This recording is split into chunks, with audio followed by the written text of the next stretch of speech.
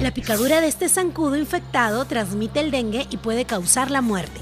El zancudo deja sus huevos en el borde del depósito del agua. Saca el zancudo de tu casa y evita el dengue. Por eso, lava, escobilla y tapa bien todos tus depósitos y tanques donde guardas el agua. Si tienes fiebre, fuerte dolor de cabeza y malestar general, debes ir de inmediato al centro de salud más cercano. Juntos venceremos al dengue. Ministerio de Salud.